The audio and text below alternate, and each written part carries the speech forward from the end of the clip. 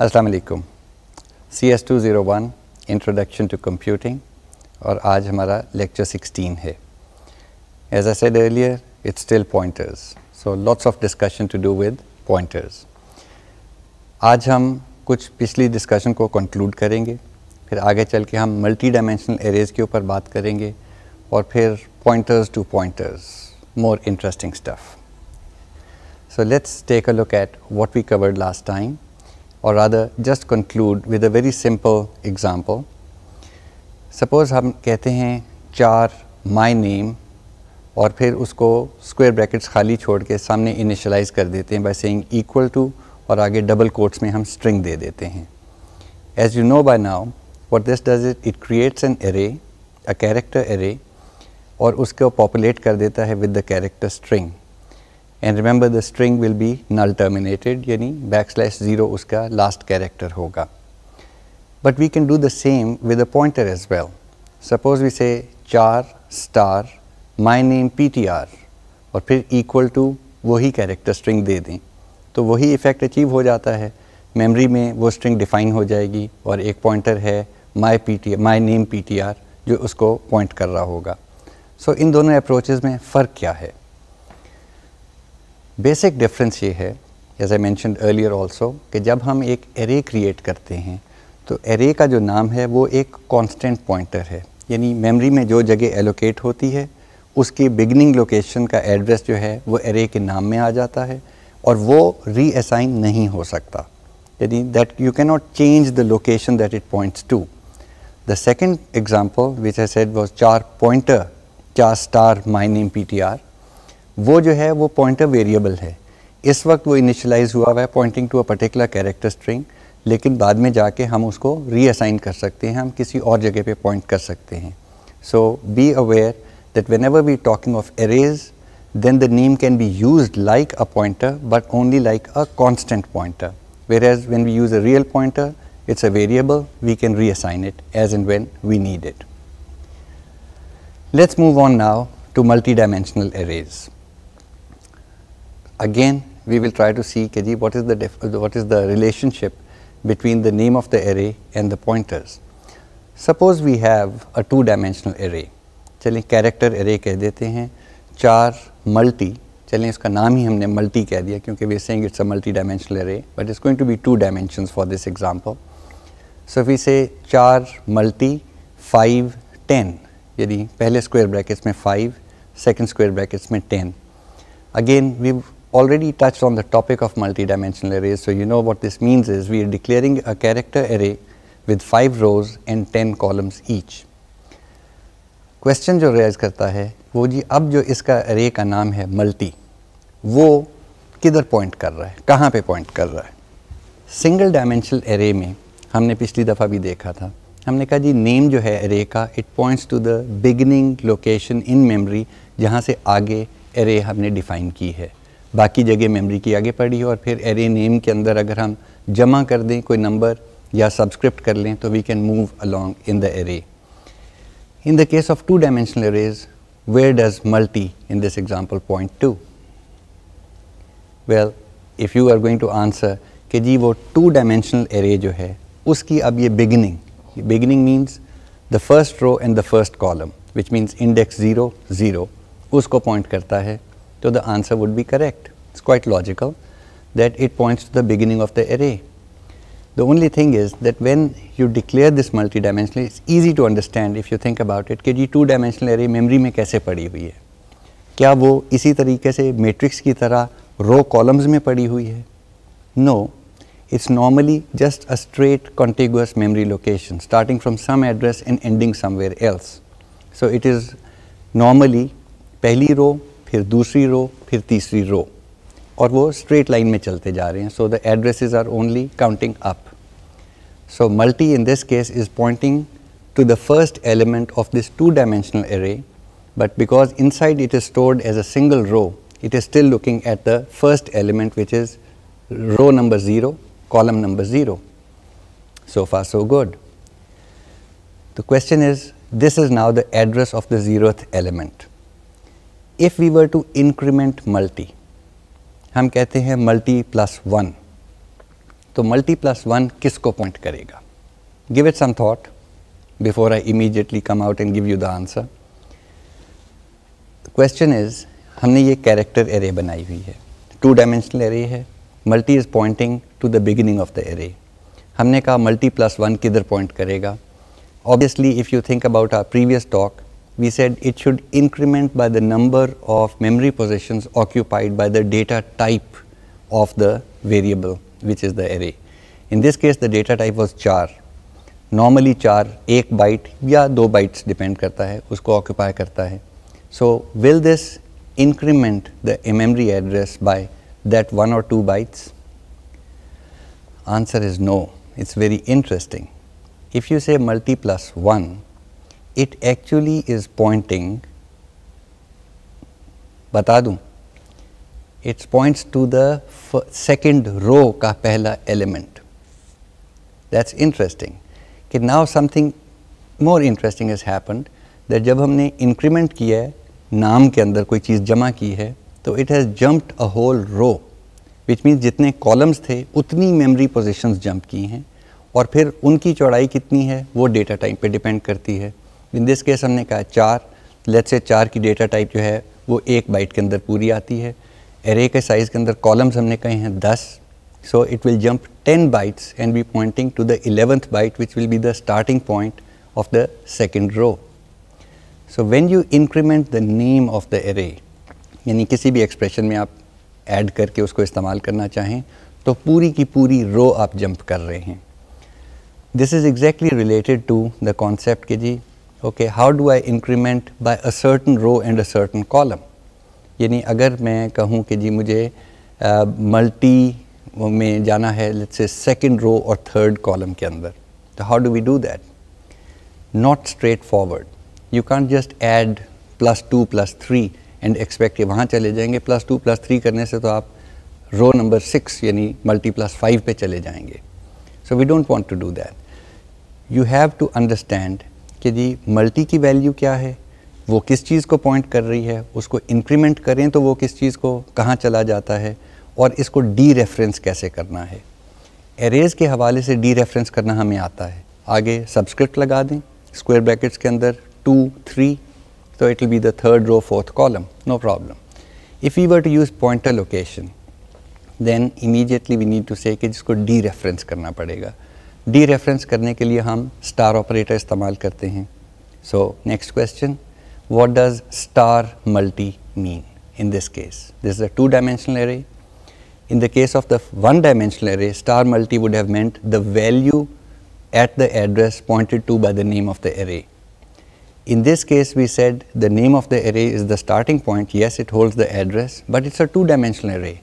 So when I say star multi, what does it contain? What happens with star multi is that it now still contains an address. It doesn't contain a value yet because it's a two dimensional array. So it contains an address and the address happens to be the address of the first row.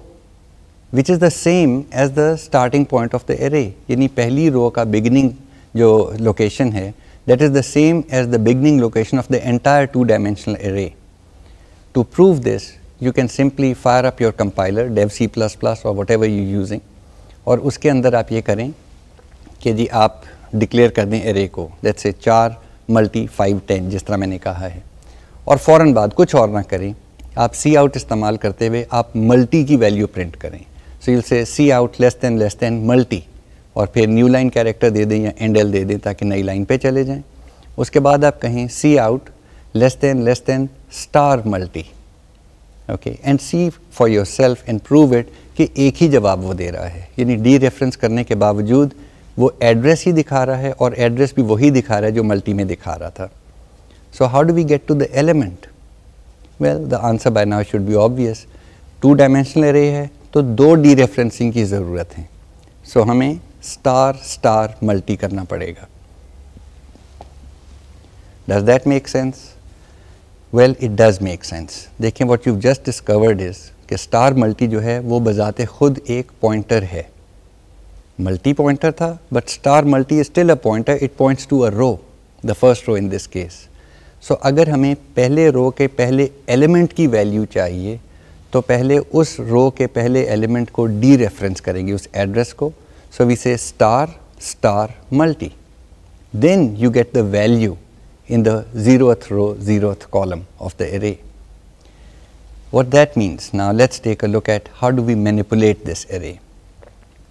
अगर हमने किसी रो पे जाना हो तो multi में उतनी रो number add कर दें तो you will be jumping whole rows at a time once you added that you dereference it to make it a pointer into that row.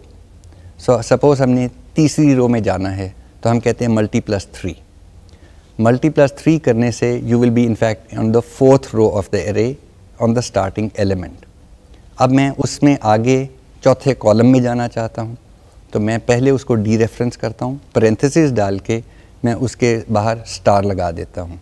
तो star parenthesis open multi plus three parenthesis closed और अब इसमें जो चीज़ जमा करूँगा, वो उस रो के अंदर नंबर ऑफ़ कॉलम्स पार जाएगी। सो चौथे कॉलम के जा, जाने के लिए मैं फिर प्लस थ्री करूँगा। तो अब ये फोर्थ रो फोर्थ कॉलम का एड्रेस आ गया। और उसमें अगर वैल्यू चाहिए फिर परेंथिस डालें और बाहर एक और स्टार डाल दें gets real complicated but look at it star parentheses open star parentheses open multi plus 3 parenthesis closed plus 3 parenthesis closed. ये लंबा चौड़ा तरीका है लिखने का multi three three of course the threes are in square brackets it doesn't mean कि आपको इस तरह से टू डायमेंशनल एरे को हैंडल करना चाहिए but it does make give you an alternative way of handling arrays In this way, you can actually manipulate the entire two-dimensional array by using indexing on the name of the array. Again, the way we did it last time, you could declare a variable, a pointer variable, assign to it the value of the, the name of the array, which means uska beginning address आपने pointer variable में डाल दिया और pointer क्योंकि अब variable इस्तेमाल हो रहा है तो उसको plus plus भी चलेगा minus minus भी चलेगा you can simply increment it and step through the array. again as an experiment and to learn really about it what I recommend is आप इसी को लेके आगे चलें इस एरे को पॉपुलेट कर लें, किसी लूप के साथ पॉपुलेट कर लें। उसके बाद आप एक लेट्स से कि जी हम इंट की ले लेते हैं एरे कैरेक्टर की बजाय। इंट मल्टी फाइव टेन कर लें। इसको डबल नेस्टेड लूप लगा के इसको पॉपुलेट कर दें। लेट्स से द वैल्यूज़ इसके अंदर डाल लें रो टाइम्स कॉलम ठीक है? या बोथ इंटीजर्स मल्टीप्लाई करके एरे में असाइन करते जाए। Having done that now you print out the values but print them out using a pointer so ऊपर way we normally declare things वहाँ पे आप अगर आप int star P T R कर दें which means P T R is now a pointer to an integer नीचे आके आप उसको असाइन कर लें पहले वैल्यू एरे की, ठीक है ना एरे नेम से, और फिर उसको इंक्रीमेंट करना शुरू करें and run it through a loop number of times will be rows multiplied by columns.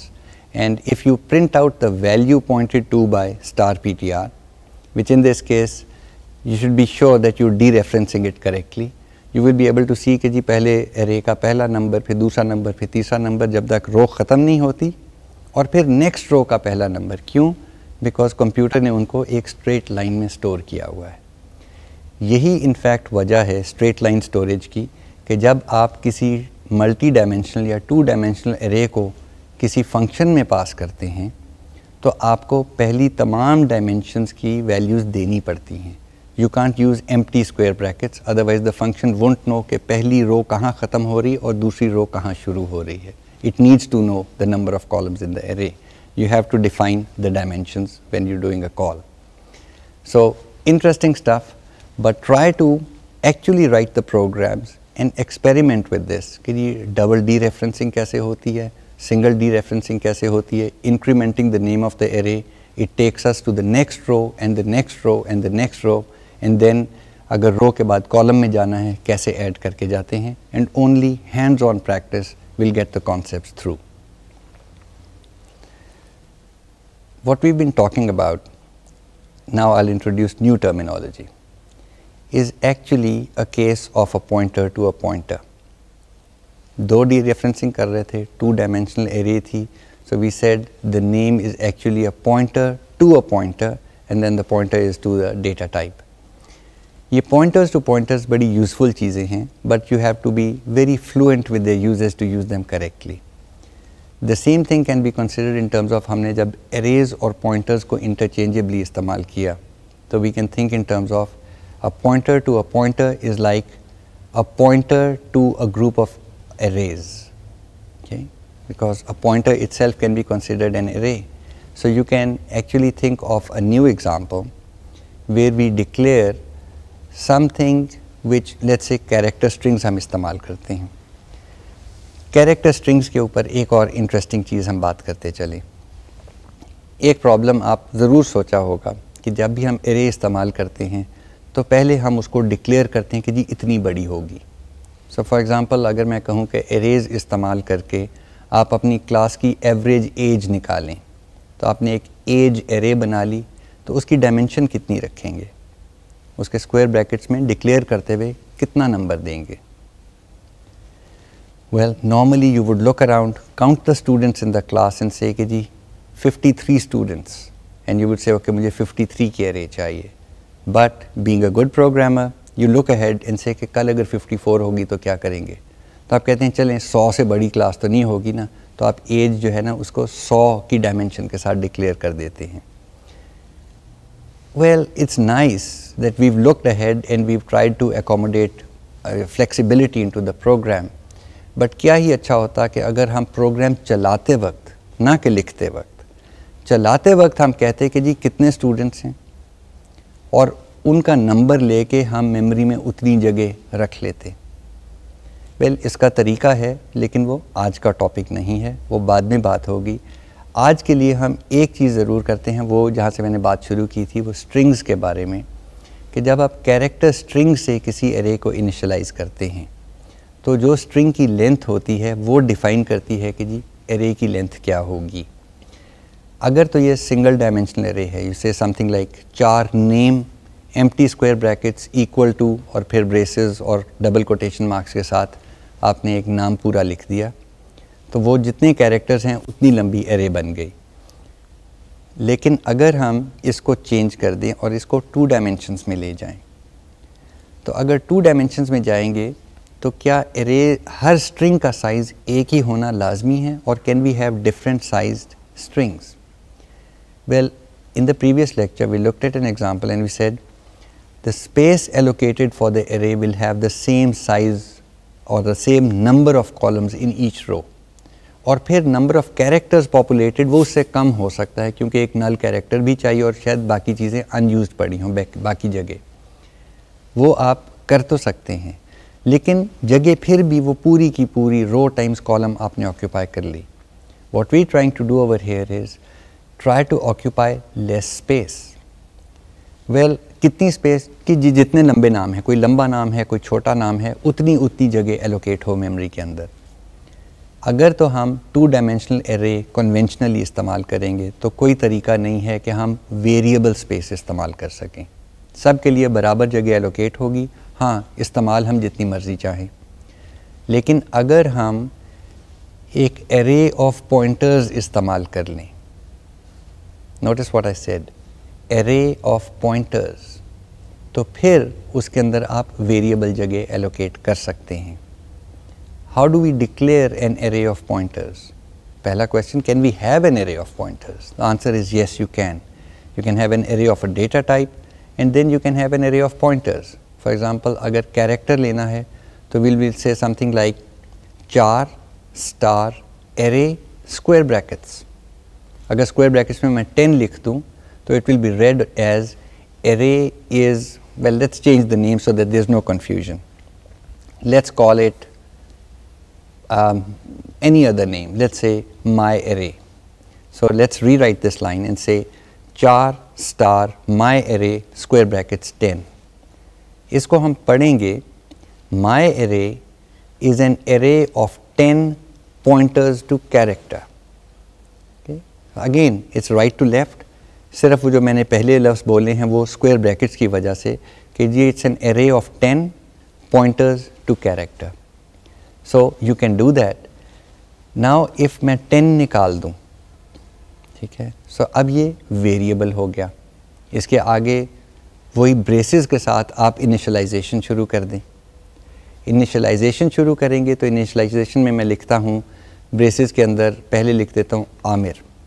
So double quotes के अंदर A M I R comma दूसरी जगह पे मैं लिख देता हूँ Jahangir J E H A N G I R लंबा नाम and so on what does it do पहले वाले पॉइंटर के जो पॉइंट करेगी जगह मेमोरी में चार कैरेक्टर्स और एक नल कैरेक्टर की जगह रिज़र्व हो जाएगी. दूसरा पॉइंटर जहाँ पे पॉइंट कर रहा है, वहाँ पे जहांगीर प्लस नल कैरेक्टर की जो जितनी जगह जो है वो एलोकेट हो जाएगी। वेरिएबल वाई बिकॉज़ हमने एरे में कैरेक्टर्स नहीं डाले। एरे हमारी पॉइंटर्स की एरे है। इस कॉन्स्ट्रक्ट ने क्या किया हमारे लिए? देखें अगर हम array two dimensional array declare करते तो पूरे रो एंड कॉलम जितनी जगह रिज़र्व हो जाती।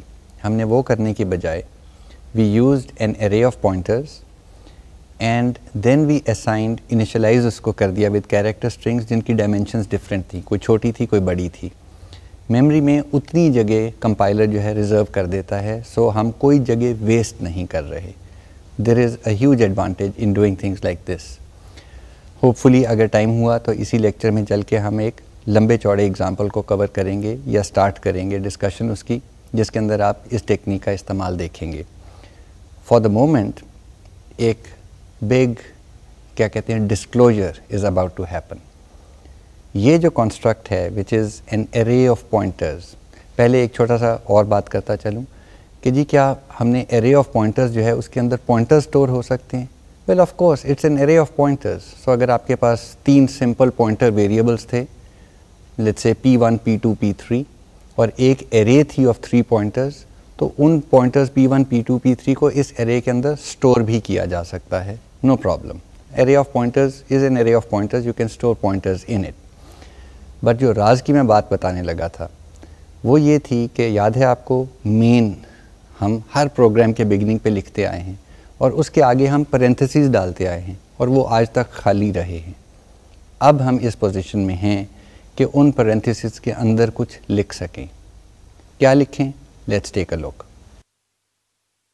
C के अंदर जब भी प्रोग्राम को चलाया जाता है तो it you can give it what we call command line arguments which means program का नाम लिखा जाए और उसके आगे कुछ आर्गूमेंट्स उसको दे दिए जाएँ तो वो खुद ही उसको उठा के चल पड़े। अभी तक जो हम करते आए हैं, वो ये है कि जी मेन को चलाया और फिर सी आउट और सी इन के थ्रू कोई प्रॉम्प्ट दी और यूज़र से इनपुट ली। तो कई दफ़ा ये होता है कि जी हमें पता होता है कि इनपुट क्या देनी है या किस नौीयत की इनपुट है। तो अगर हम कमांड लाइन पे ही दे सकें तो हम प्रोग्राम का नाम 53 स्टूडेंट्स फ़लानी चीज़ और प्रोग्राम चल जाए। ये जो कमांड लाइन आर्गूमेंट्स हैं, इनको प्रोग्राम के अंदर घुसाने के लिए हमें एक मेकनिज़म चाहिए।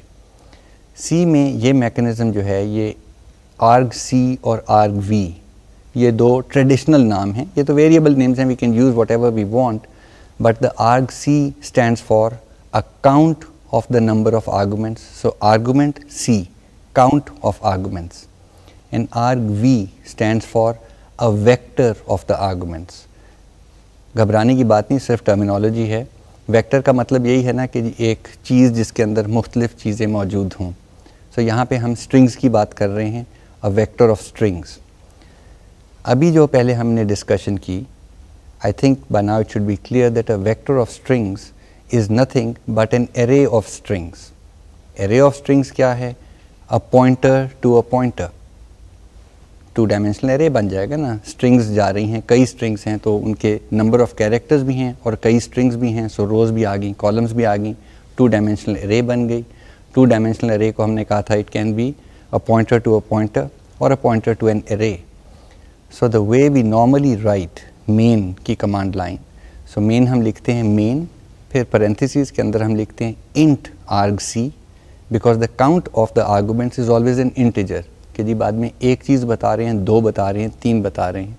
So int arg C comma char star star arg V which says arg v is a pointer to a pointer to a character, which as we know is a two dimensional array of characters, or an array of strings जब ये mean इस तरह से declare हुआ हो तो programme के अंदर आप ये आर वी वाली चीज़ों को एक्चुअली एक्सेस कर सकते हैं like strings so you can pass command line arguments into the program one interesting experiment for you to do would be to just write main int argc character star star argv and in the body of the program और कुछ ना करें पहले कहें कि जी आर्ग सी की value लिखो।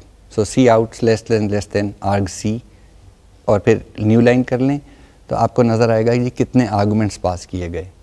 और फिर नेक्स्ट लाइन पे आप कहें कि जी स्टार स्टार आर्ग वी को भी प्रिंट करो। डबल डी रेफरेंसिंग कर लें, ताकि वो आपको पहली स्ट्रिंग दे दे। या स्टार आर्ग वी कर लें। ठीक है ना? वो पहली स्ट्रिंग आपको आउटपुट करेगा। और कुछ नहीं किया अभी। और इस प्रोग्राम को आप चलाएँ। What do you think you think the answer should be zero कोई आर्गूमेंट नहीं हमने दिया। और आगे नल स्ट्रिंग कि जी कोई स्ट्रिंग नहीं मिली।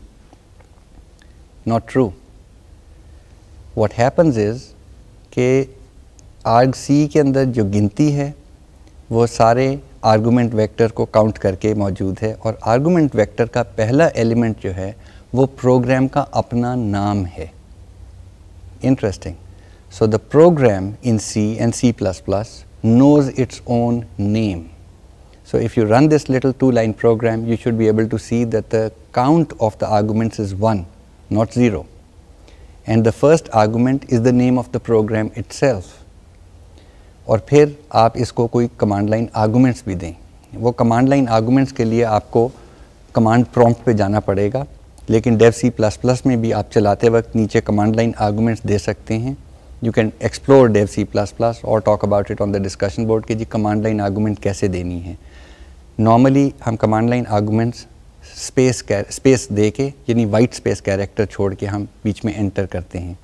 So if you were to write a program जिसमें आप कहते हैं कि जी प्रोग्राम का नाम और फिर आगे कहते हैं वन स्पेस टू तो उसको तीन आर्गूमेंट्स मिलेंगे। प्रोग्राम का अपना नाम, फिर पहला नंबर एज अ कैरेक्टर और फिर दूसरा नंबर एज अ कैरेक्टर ये याद रखें ये कैरेक्टर है ये इंटीजर नहीं है. सो so, अगर आपने एज एन इंटीजर इस्तेमाल करना है तो you will have to convert them we will put some examples on the discussion board और as part of the contents in your learning management system so you can see the usage of this construct but it is very very useful let's move on now ये मैंने अभी इस पर छोड़ दिया क्योंकि इसको आर्ग सी और आर्ग वी के शायद बाद में हम और बात करें.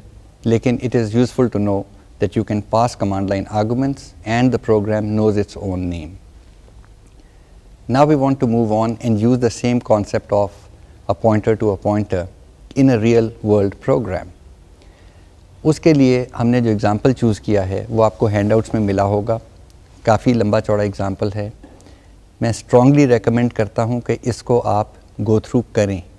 एक एक लाइन को पढ़ें और समझें स्टाइल इश्यूज़ के अंदर, इसके अंदर स्टाइल इश्यूज़ भी हैं। सो आप देखें कि स्टाइल क्या है प्रोग्राम लिखने का।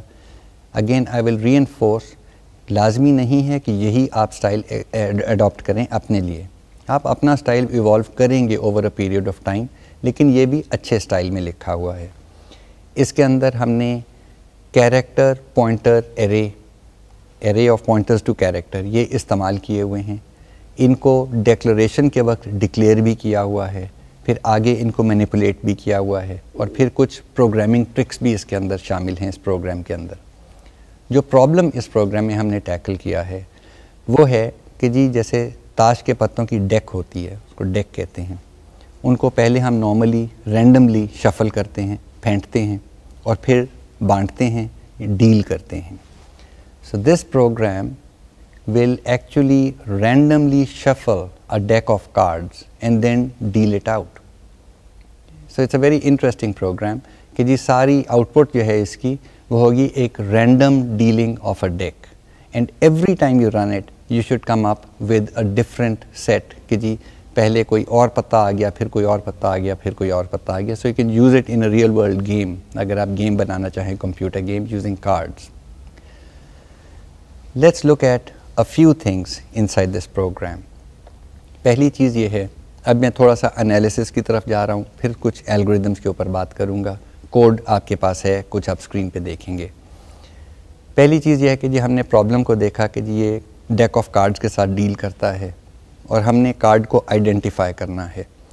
तो कार्ड को आइडेंटिफाई कैसे किया जाता है? पहले उसका एक फेस होता है, यानी सूट होता है कि जी ये हम उर्दू में तो हुक्म और चिड़िया और इस तरह बात करते हैं। अंग्रेज़ी में उसको spades hearts diamonds and clubs कहते हैं। सो हम वो लफ्ज़ इस्तेमाल करेंगे। उसके बाद अगर पत्तों को देखें तो उनके ऊपर वैल्यूज़ भी होती हैं। यक्के से शुरू होके बादशाह तक जाती हैं। अगेन अंग्रेज़ी में उसको एस, फिर टू को हम ड्यूस कहते हैं। फिर थ्री, फोर, फाइव, सिक्स, फिर जैक, क्वीन, किंग। सो तेरह पत्ते होते हैं एक सूट के अंदर और चार सूट्स होते हैं एक डेक के अंदर, यानी बावन पत्ते होते हैं टोटल हम इनको प्रोग्राम के अंदर रिप्रेजेंट करना चाह रहे हैं। So we want to use English we don't want to use numbers we don't want to say something like second row and third column we want to say a five of clubs so इसके लिए पहले तो अंग्रेज़ी store की जाए किसी array के अंदर। सो so, हमने एक एरे जो है वो डिक्लेयर की है सूट की। So it is char star suit four it's an array of four pointers to character. So when it is pointers to character, we know कि pointer can store a string. और ये इस तरह से क्यों किया है?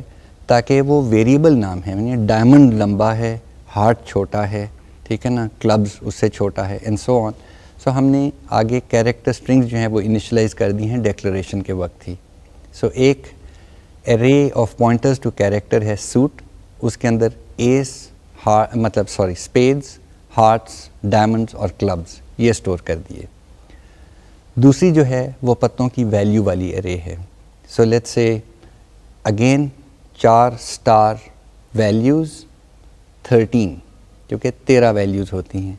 और फिर आगे हमने उनकी अंग्रेज़ी लिखी है। वन टू थ्री नहीं लिखा, हमने डबल कोट्स के अंदर ace deuce three four five and so on all the way up to king ये दो arrays of pointers to characters जब इनिशलाइज हुई तो मेमोरी में एग्जैक्टली exactly उतनी जगह रिज़र्व हुई जितनी हम चाहते थे। कोई जगह वेस्ट नहीं हुई। So this is an important point to understand कि if you declare and initialize like this you are not wasting space the other thing that we have done in here is कि आगे देखेंगे const की word लगाया हुआ है। ये const क्यों लगाया? है कोई लॉजिक है इसके पीछे? Obviously we don't do things just for the heck of it the logic is कि जी ये चीज़ें तो डिफ़ाइन हो रही हैं एक दफ़ा कि जी क्लब्स ने क्लब्स ही रहना है स्पेड्स ने स्पेड्स ही रहना है उसने कोई चेंज नहीं होना। सो so, हम चाहते हैं कि उनको एरेज में स्टोर करें लेकिन ये नहीं चाहते कि ये किसी तरीके से इनकी वैल्यूज़ बदल जाएँ या ओवरराइट हो जाएँ या कोई गाबेज आ जाए। तो हमने कॉन्स्ट कीवर्ड दे दिया कि जी डिक्लेयर हो गई डिफ़ाइन हो गई इस्तेमाल कर लें लेकिन चेंज आप नहीं कर सकते। Same applies to the value of the cards so values जो एरे है एरे ऑफ़ पॉइंटर्स उसके अंदर भी वैल्यूज़ लिखती हैं और उसको कॉन्स्ट कर दिया। अब रह गई बात डेक की। सो so, डेक जो है वो होगी बावन पत्तों की। ये क्योंकि चारों सूट्स तेरह cards per suit deck is the one जिसको हम शफल भी करेंगे और डील भी करेंगे। तो अब इसके अंदर थोड़ी एल्गोरिदमिक चीज़ें आती हैं। डेक का पहले साइज़ कितना होना चाहिए? Well it can be either linear 52 और it can be four suits 13 values per suit and logically it make sense to have a two dimensional array with four suits and 13 values per suit so वो square brackets में 4 13 से उसको declare किया है। पत्तों को हम रैंडमली डिस्ट्रीब्यूट करना चाहते हैं, ठीक है? सो हम डेक को पहले लोड कर लेते हैं, फिर उसको शफल करते हैं और फिर उसको डील करते हैं। How do we do this well card number की हम एक लूप डिफाइन करके इनको शफल करेंगे। Let us see how that happens deck को हमने इनिशलाइज कर दिया टू ज़ीरो ठीक है? It means it holds no cards at the moment ये अब मैं थोड़ा सा एल्गोरिदम की बात कर रहा हूँ ताकि सोचने का अंदाज़ है। हम करेंगे ये कि हमने बावन पत्ते डिस्ट्रीब्यूट करने हैं, जो भी उनका नंबर हो। हम रैंडमली एक सूट चूज़ करेंगे। और रेंडमली उसकी एक वैल्यू चूज़ करेंगे और वहाँ पे कार्ड नंबर लिख देंगे। वन से शुरू होकर 52 तक कार्ड नंबर लिख देंगे। विच मीन्स रैंडम सूट यानी आपने क्लब्स लिया है या हार्ट्स लिया है या स्पेड लिया है, वो रैंडमली चूज़ कर लिया और रैंडमली उसकी वैल्यू एस से लेके किंग तक कोई चूज़ कर ली और उसको एक नंबर असाइन कर दिया कि जी वन है या टेन है या थर्टीन है या फिफ्टीन है अप टू फिफ्टी टू अब ये समझ लें कि एक टू डायमेंशनल एरे के अंदर आपने काफ़ी रैंडमली नंबर लिख दिए हैं। अब अगर इस एरे को प्रिंट करने के लिए हम कहें कि जी सबसे पहले जहाँ वन लिखा हुआ है, उसकी रो एंड कॉलम इस्तेमाल करते हुए उसका लिखें कि जी सूट कौन सा है और वैल्यू कौन सी है तो यू विल रियलाइज़ कि this is a very random shuffling of the deck so let us see how we do this अगर आप शफल वाले फ़ंक्शन को देखें। तो डेक हमने इनिशलाइज कर दी to all zeros two dimensional array of dimensions four and thirteen और उसको पास कर दिया to the shuffle function array को पास किया है it will be pass by reference to make sure that shuffle knows how to deal with a two dimensional array वो जो आखिरी वाले कॉलम्स का मतलब डायमेंशन है वो आपको बतानी पड़ती है. सो so, वो थर्टीन आपको बताना पड़ेगा. ठीक है? And then we go in and see what we do हम कहते हैं कि जी, एक से शुरू हो जाओ। So we use an integer variable and we run a little loop which we which we will run 52 times so we start from one go into the loop and now we generate a random number for the suit suit के लिए क्या करना चाहिए? How do we generate the random number look in your notes it's in front of you but I would prefer that you think चार suits हैं, ठीक है? Spades hearts diamonds clubs इनको हमने एरे में डालना है और एरे की इंडेक्सिंग सी के अंदर ज़ीरो वन टू थ्री होगी। फोर डायमेंशनल एरे है, या rather the number of rows is four so zero one two three अगर नंबर जनरेट करना है हमने यूजिंग द रैंड फ़ंक्शन याद है आपको रैंडम नंबर फ़ंक्शन आपके पास मौजूद है? तो हम कहेंगे rand modulo four so rand modulo four जो है line that will give us an answer which is zero one two और थ्री इसी तरह कॉलम डिटर्मिन करने के लिए हम रैंड मॉड्यूलो 13 कर देते हैं which generates a random number between 0 and 12 inclusive this gives us the row and column क्या हम सीधा सीधा ये जो रो एंड कॉलम आई है, उसमें डेक में deck of this value of row and this value of column के अंदर कार्ड की वैल्यू असाइन कर रहे हैं, जो बाहर वाली लूप चल रही है, वो कार्ड के ऊपर चल रही है। Should we just do that the answer is no we can't do that because हो सकता है कि हर दफ़ा एक ही रैंडम नंबर निकलता है तो आप उसके ऊपर कार्ड नंबर वन लिख देंगे, फिर कार्ड नंबर टू लिख देंगे, फिर कार्ड नंबर थ्री लिख देंगे। It won't work so what we want to do is कि पहले डेक में ये देखा जाए कि कौन सी नेक्स्ट अवेलेबल खाली जगह है। इन अदर वर्ड्स अगर कोई row and column random number की वजह से वही आंसर आ जाए जो पहले हम एक दफ़ा प्रोसेस कर चुके हैं तो हम उसको रीप्रोसेस नहीं करना चाहते। तो अंदर हमने रैंडम नंबर्स के बाद एक छोटी सी लूप चलाई है। फ़र्स्ट वी से वाइल ये जो डेक की वैल्यू जो है, वो नॉट ज़ीरो है। देखें डेक को हमने ज़ीरो के साथ इनिशलाइज किया था। So while it is not zero ये लूप चलती है। और जब ज़ीरो मिल जाता है which means it's an unused space और unused position in the two dimensional array deck हम लूप से बाहर आ जाते हैं। उस जगह पे हम जाके कार्ड नंबर असाइन कर देते हैं।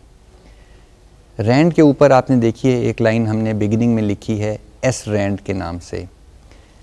ये भी यूज़फुल है। मैं इसकी थोड़ी देर में बात करूँगा because talking about that now will leave get away from the logic of this program Once we have gone through this iterative procedure for all 52 cards, what is happening is हमने random row और column के ऊपर हमने एक card number लिख दिया है और रो रिप्रेजेंट कर रही है सूट को और कॉलम रिप्रेजेंट कर रहा है वैल्यू को।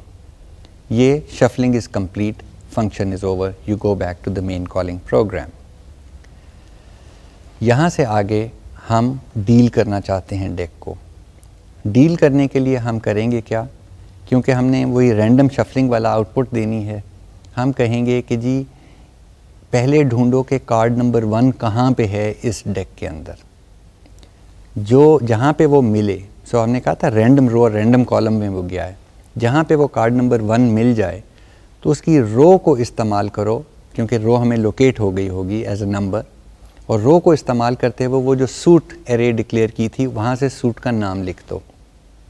और इसी तरह कॉलम को इस्तेमाल करो, जिसका आंसर कोई नंबर होगा, और जो वैल्यूज़ थी उस एरे में से उसकी वैल्यू लिख दो। So now look at the deal function it's quite simple again it is for card equal to one to fifty two which means zero to fifty one कर लें वन टू फिफ्टी टू कर लें doesn't matter उस value को लेके हम अब deck array के अंदर उसको ढूंढते हैं। सो इट्स अ सर्च कोई ज़रूरत नहीं है इसके अंदर कोई फैंसी सर्च लगाने की, कोई बाइनरी सर्च या कुछ ऐसे लगा रहे हो। हम simple simple brute force search करते हैं कि जी while deck of row comma row column is not equal to card यानी ये वाली वैल्यू नहीं मिली, उतनी देर तक लूप चलाओ। And it's a double nested loop पहले रो पे ऊपर वाली लूप है, फिर अंदर वाली लूप कॉलम के ऊपर चल रही है। जब आपको वो वैल्यू मिल जाती है तो वहीं से आप बाहर निकल सकते हैं। यहाँ पे again you could use break to get out of the loop but then you would have to use two breaks to get out of the loop okay double nested loop है। जब कार्ड मिल गया तो आपको अंदर वाली loop पे भी break है और फिर बाहर वाली लूप पे कोई कंडीशन चेक करके ब्रेक लगानी पड़ेगी। Gets complicated so all we've done is, as soon as we find the value, we simply print the answer. ठीक है? So we you see out अब रो की भी वैल्यू चल रही थी एक लूप में और कॉलम की भी चल रही थी। जहाँ पे भी आपको कार्ड की वैल्यू मिली, वहाँ पे रो और कॉलम की वैल्यूज़ ऑटोमेटिकली आपके पास हैं। You can use them to print the word from the suit array so if you say print suit of zero तो वहाँ पे शायद वो स्पेड्स लिख दे। और अगर आप कहें प्रिंट सूट ऑफ़ वन वो वहाँ पे हार्ट्स लिख दे एंड सो ऑन और फिर साथ वैल्यू है। तो वैल्यूज़ के लिए आपके पास कॉलम इंडेक्स मिल गया होगा कार्ड लोकेट हो गया है। So now you can start putting out a print out जो आप देख लें वहाँ पे आपके एग्ज़ाम्पल में दिया हुआ है। So you will start getting a table which is also presented as one example of the random output आप चाहें तो ये सारा कोड कॉपी करके इसको चला लें। मज़े का है रैंडमली हर दफ़ा ये डेक को शफल करके आपको प्रेजेंट करेगा। लेकिन कोड कॉपी करके कंपाइलर में डाल के चलाना isn't the objective. Objective is, इस प्रोग्राम को ज़रा स्टडी करें, काफ़ी काफ़ी इंटरेस्टिंग चीज़ें कॉन्स्ट्रक्ट्स एल्गोरिदम वाइज वो इसके अंदर प्रेजेंट की जा रही हैं। आपके पास नेस्टेड लूप का एग्जांपल आ रहा है। आपके पास एरे ऑफ़ पॉइंटर्स का एग्जांपल आ रहा है। आपके पास variable size strings in an array of pointers का एग्जांपल आ रहा है। आपके पास रैंडम नंबर की usage in a real world problem उसका एग्जांपल आ रहा है। अब मैं एस रैंड की भी बात करता चलूँ। देखें कंप्यूटर्स जो हैं, वो रैंडम नंबर्स हम कहते हैं जनरेट कर लेते हैं थ्रू दिस रैंड फ़ंक्शन क्या is it truly random answer is it isn't truly random अगर आप हर दफ़ा कॉल करेंगे तो वो आपको उसी सीक्वेंस में नंबर्स दे देगा। लगेंगे बड़े रैंडम कि जी पहले वन आया, फिर फिफ्टीन आ गया, फिर नाइनटीन आ गया, फिर ज़ीरो आ गया, फिर टू थाउज़ेंड आ गया। डिपेंड्स ऑन द रेंज लगेंगे बड़े रैंडम लेकिन हर दफ़ा आप जनरेट करेंगे तो हर दफ़ा वही सीक्वेंस आ रहा होगा बार बार। To make it really random आप चाहते हैं कि हर दफ़ा जब आप इसको कॉल करें तो कोई नए सिरे से सीक्वेंस शुरू हो। तो यहाँ पे हमने एस रैंड का फ़ंक्शन कॉल किया है। ये है seed to the random number generator seed जो है वो ये करता है कि हर दफ़ा उसको इनिशलाइज किसी और तरीके से करता है। फिर वही बात कि जी कंप्यूटर है, अगर आप सीड को हर दफ़ा एक ही नंबर से कॉल करेंगे तो फिर एक ही sequence of random number generate हो रही होगी। We don't want that so आप एस रैंड को भी कॉल करना चाहते हैं with yet another number which is changing वो जो नंबर हमने सिलेक्ट किया है, वो टाइम फ़ंक्शन से लिया है। So time function on most of our systems returns a number of seconds और seconds are coming from the system clock तो वो काउंट कर रहा होता है हर वक्त। तो हर सेकंड के बाद उसकी वैल्यू बदल रही है। तो every time you try to run the program time function जो है, वो आपको एक डिफरेंट नंबर ऑफ़ सेकंड्स देगा। डिफरेंट नंबर ऑफ़ सेकंड्स आपने एस रेंड को दे दिए। So the seed to the random number generator is now a different number which means the random number generator now generates a different sequence of random numbers देखें अगर truly random number generate करना हो तो कैसे करेंगे? कभी आपने इस बात पे सोचा है कि how to generate random numbers देखें, जो रियल वर्ल्ड में रैंडम इवेंट्स होते हैं, उनके ऊपर इतने ज़्यादा वेरिएबल्स अफेक्ट कर रहे होते हैं। अगर कोई ट्रू आप में इंजीनियर या साइंटिस्ट बैठा हुआ है ना, कहेगा, जी is no such thing as a random number हर चीज़ की इक्वेशन लिखी जा सकती है एग्जैक्ट आंसर आ जाएगा। True if you had a computer big enough शायद आपको इंट्रोडक्शन टू कंप्यूटिंग में भी बात की हो या मैंने भी अर्लियर बात की हो कि जी, दुनिया के पावरफुल तरीन कंप्यूटर्स जो हैं जो बिग सुपर कंप्यूटर्स वो कौन सा प्रॉब्लम हल करने के ऊपर लगे हुए हैं? क्या आपको पता है? Okay yes they do do वो जी, ये न्यूक्लियर बॉम्ब की जो सिमुलेशन करनी है, या ये नया जहाज़ बना है, उसका कॉकपिट सिमुलेटर बनाना है but the one problem that they work on most is weather prediction कल बारिश होगी कि नहीं होगी? परसों आसमान पे बादल होंगे कि नहीं होंगे? It's a scientific problem but if you think of the number of variables वो इतना ज़्यादा है कि हर हवा का मॉलिक्यूल जो है वो आपस में टकरा रहा है और इंटरेक्ट कर रहा है। द फैक्ट कि मैं यहाँ पे बैठ के बात कर रहा हूँ तो मेरी आवाज़ की वजह से भी कुछ मॉलिक्यूल्स आपस में टकराए और उसकी वजह से कुछ और इफ़ेक्ट हुआ, कुछ और इफ़ेक्ट हुआ। केओस थ्योरी वालों से बात करें वो कहेंगे कि जी वो साउथ अमेरिका में एक जंगल में तितली ने पर मारा है। और थाईलैंड के ऊपर दो महीने के बाद साइक्लोन आ गया। और वो उन पर मारने की वजह से यहाँ पे साइक्लोन आया। इसी we are in a linked system थोड़ा सा एग्जेजरेटेड एग्ज़ाम्पल बन जाता है but trying to solve it using computer equations it is such a horrendous problem it is such a huge problem कि सुपर कंप्यूटर जो हैं, वो वेदर प्रिडिक्शन के ऊपर बहुत ज़्यादा काम कर रहे हैं और अभी उनके पास हल नहीं है। वेस्ट के अंदर अगर आप उनके वेदर ब्यूरो से बात करें तो they give you very accurate prediction for the next day और टू डेज़ हफ़्ते के बाद रीजनेबल महीने के बाद फॉरगेट इट बस ये अंदाज़ा है कि धूप निकलेगी. Anyway I was getting off the topic but when you try to generate random numbers ये चीज़ आपने एक सोचनी है कि जी एक्चुअली रैंडम नंबर कैसे जनरेट किया जाए? बचपन में हम किताब खोलते थे और कहते थे, आह पेज नंबर फलाना. फिर बंद की, फिर खोली और कहा पेज नंबर फलाना. Fairly random but a limited set हम कह रहे हैं जी purely random number back to our topic हमने एस रैंड इस्तेमाल किया है to you know start the random number generator at a random position और उसको फिर हमने इस्तेमाल किया to generate row and values rather suit and values for the cards and populated the deck array जो इंटरेस्टिंग चीज़ है इसके अंदर एल्गोरिदमिकली देखने वाली है, वो है कि जी डेक एरे के अंदर हमने खाली जगह कैसे ढूंढी है और फिर उसमें कार्ड का नंबर कैसे लिखा है। और इंटरेस्टिंग चीज़ ये है कि जी अब उसके अंदर रैंडमली हमने नंबर्स लिख दिए हैं डेक एरे के अंदर तो उनको किस तरतीब से हमने प्रिंट किया है। These are useful techniques because ये किसी और प्रॉब्लम में भी आपके काम आएँगी। So I want you to view this program very critically and less from a language but more from an understanding perspective चलें, आज यहाँ पे रुकते हैं। हमने मल्टी डायमेंशनल एरेज देखी पॉइंटर्स टू पॉइंटर्स देखे एरेज ऑफ़ पॉइंटर्स देखे। एक छोटा सा कमांड लाइन आर्गूमेंट के ऊपर भी बात हुई, इसके ऊपर और बात बाद में होगी। और फिर हमने एक कॉम्प्रिहेंसिव सा एग्ज़ाम्पल आपको पेश किया, जिसके अंदर मैं फिर ताकीद करूँगा, आप उसको अंडरस्टैंड करना आपके लिए लाजमी है। सिर्फ़ उसको एज एन एग्ज़ाम्पल कोड के तौर पे ट्रीट ना कीजिएगा। टिल नेक्स्ट टाइम खुदा हाफिज़।